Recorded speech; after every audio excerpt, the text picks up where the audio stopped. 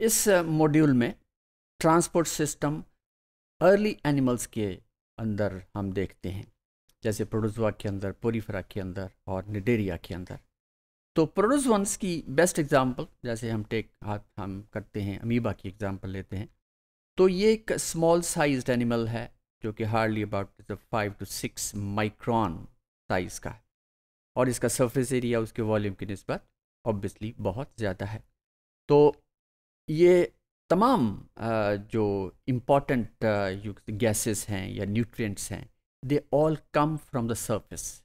तो ये जैसे ऑक्सीजन है फॉर एग्जांपल तो ऑक्सीजन इस सेल मेम्ब्रेन में से पास होती है इनसाइड क्योंकि बाहर कंसनट्रेशन ज़्यादा है पॉन्ड के अंदर as compared to the inside inside क्यों कम है? क्योंकि मेटाबॉलिज्म के दौरान ये ऑक्सीजन इज़ बीइंग कंज्यूम्ड तो इसलिए there is a difference of concentration और consequently oxygen automatically that moves in और सेल साइटोप्लाज्म के अंदर कार्बन डाइऑक्साइड बन रही है मेटाबॉलिज्म हो रही है, जिसकी रिज़ल्ट पे कार्बन डाइऑक्साइड बन रही है और दूसरे नाइट्रोजनस वेस्ट जो हैं वो भी बन रहे हैं। तो इनकी रिमूवल बहुत ज़रूरी है और ये भी उसी तरह कार्बन डाइऑक्साइड इनसाइड बहुत ज़्यादा है as compared to the outside so there is just by the by the process of diffusion carbon dioxide that moves out that uh, diffuses out from the cell membrane.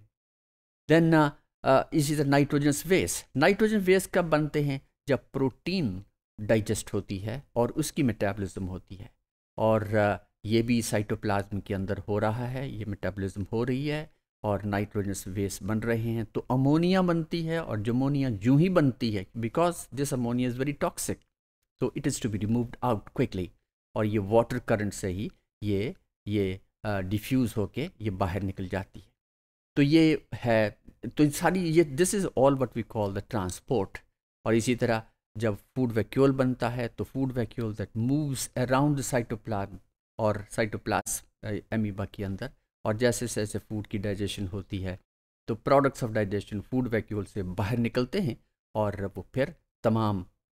Plant sorry animal के तमाम हिस्सों में क्योंकि ये सिंग, single celled है तो cell के तमाम हिस्सों में ये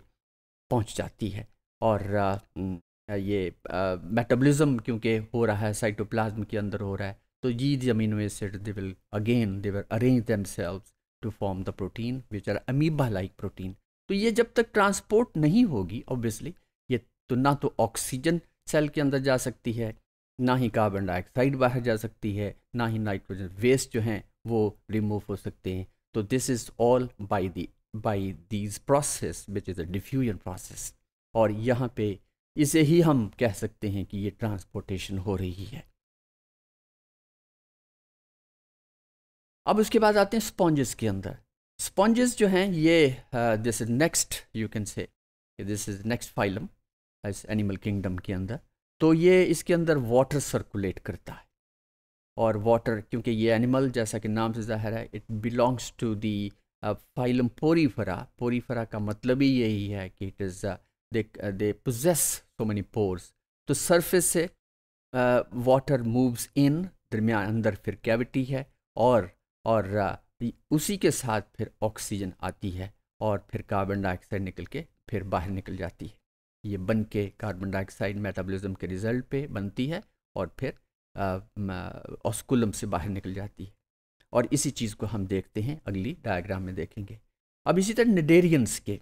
तो निडेरियंस जिसमें हाइड्रा है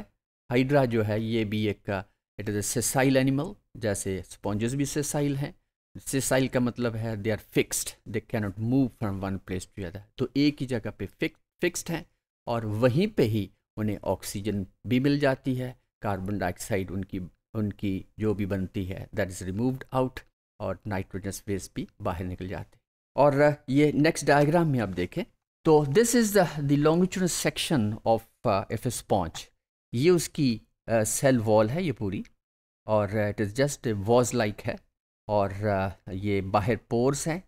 और और uh, यहाँ से इन पोर्स से वाटर मूव इन मूव करता है, ये यहाँ पे भी दिखाए गए हैं, क्योंकि ये तो सेक्शन के अंदर, ये थोड़ा सा हिस्सा रिमूव करके अंदरूनी वॉल्स का जा, वो उसके डायग्राम है।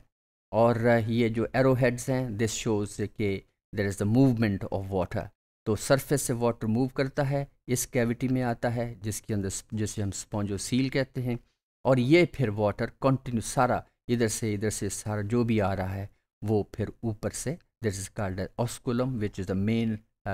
main you can say the exit तो वहाँ से फिर निकल जाता है water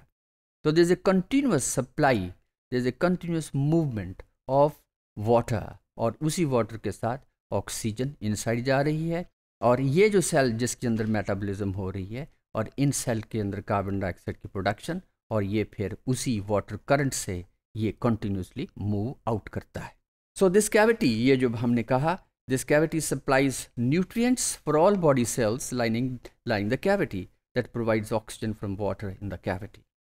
so it is a reservoir for carbon dioxide and other wastes ये जो स्पॉन्जो सील है जिसके अंदर ये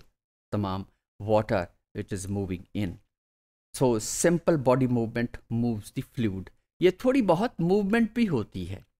और इसी इसी मूवमेंट की, वैसे भी इनसाइड जो सिलिएटेड सेल्स भी होते हैं, उनके सिलिया भी होते हैं, वो भी लैश करते हैं। तो जिसकी वजह से एक करंट ऑफ़ वाटर एस्टेब्लिश्ड रहती है। वैसे भी बॉडी की भी मूवमेंट से ये water continuously move or move कर रहा है inside next this is hydra which is the representative of cnidarians इसमें हम देख रहे हैं कि ये हिस्सा this part of it is the basal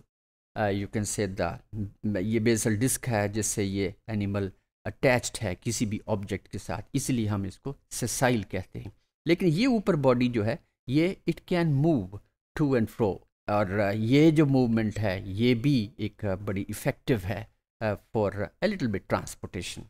तो इसके अंदर दिस पार्ट ये जो कैविटी है इसे हम गैस्ट्रोवेस्कुलर कैविटी कहते हैं और ये टॉप के ऊपर माउथ है ये भी वॉज़ लाइक एनिमल है और ये एक सेल्स हैं जो कि बड़े जो जिससे तमाम बॉडी बनी हुई है। Is it is not it is you may call it is not triploblastic नहीं है, ये डिप्लोब्लास्टिक एनिमल है। ये आउटर लेयर है एक विच इज़ एक्टोडर्म और इनर लेयर है which is the endoderm mesoderm इसके अंदर नहीं है। और इसकी जगह फिर मिजोगलिया है, वो डिटेल और है। अच्छा तो दरमियान में दिस अ माउथ तो ये सारे के सारे ये टेंटिकल्स हैं, ये टेंटिकल्स आहिस्ता आहिस्ता मूव करते रहते हैं। तो वाटर जो है ये यहीं से ही, यहीं से ही माउथ से ही एंटर हो रहा है अलॉन्ग विद ऑक्सीजन और फिर यहाँ से होता हुआ ये it moves out opening is the same the mouth वहीं, वही वही ओपनिंग एंट्री की है, वही वहाँ से भी वाट वाटर की एग्ज़िट है। और जब जो बाहर पानी आ रहा है उसकी में, उसमें कार्बन डाइऑक्साइड भी शामिल है। और ये जो सेल्स हैं, इसकी क्योंकि गैस्ट्रोवेस्कुलर कैविटी है और यही वो कैविटी है जिसके अंदर डाइजेशन का प्रोसेस भी होता है। ये भी हम आगे जाके इसको डिटेल में देखेंगे। तो ये तमाम, ये ऑक्सीजन की सप्लाई कार्बन डाइऑक्साइड की रिमूवल और ये कार्बन नाइट्रोजनस वेस्ट जो हैं जो इन सेल्स के अंदर तमाम के तमाम बनते हैं, वो इन्हीं वाटर करंट से ये इसी वही opening which is the mouth opening यहीं से ही इट मूव्स आउट तो this is all about the transport system in Protozoa Porifera and Cnidaria